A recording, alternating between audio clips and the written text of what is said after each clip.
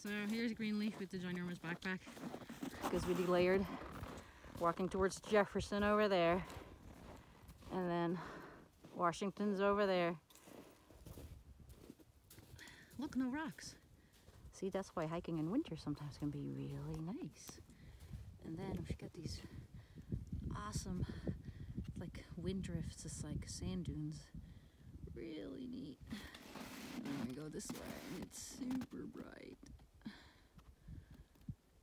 That's looking towards Thunderstorm Junction. And that's the front side of Adams, which, you know, is a little higher than what we can see right now.